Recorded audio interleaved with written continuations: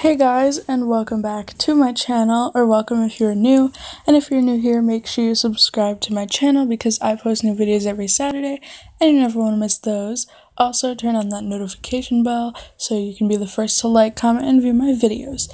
So today I'm going to be teaching you guys how I straighten my hair and um, yeah let's just hop right into the video.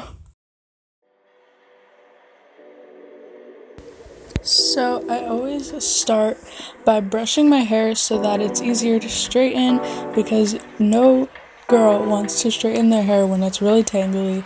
And then I just part my hair down the middle so that it's easier. And um, yeah. After I part my hair, I just section it off and put the top half of my hair um, in a bun so that I just do the bottom first.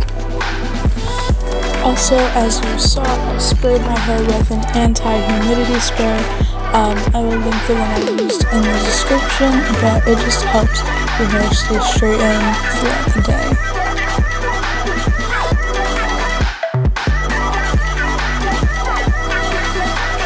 And I just continue to straighten my hair. It's pretty simple, but um, I decided I would do this tutorial anyways. So, yeah.